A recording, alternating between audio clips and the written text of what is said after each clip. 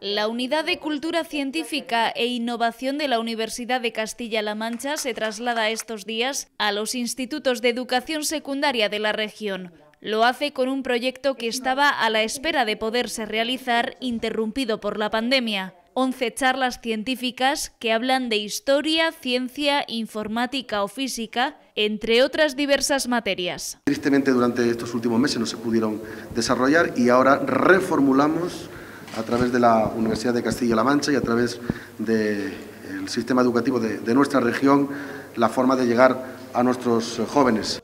Estas charlas son un proyecto divulgativo respaldado por la Fundación Española para la Ciencia y la Tecnología. Lo que vamos a hacer es poner a disposición del profesorado de los institutos todo ese material porque creemos que puede ser de gran utilidad para el desarrollo de su labor docente en los institutos. Eh, la actividad está más orientada en este caso al profesorado, con el que queremos tener también desde la universidad una relación muy estrecha. Este jueves se publica la orden de bases de ayudas a la investigación de la Junta por importe de 10 millones de euros.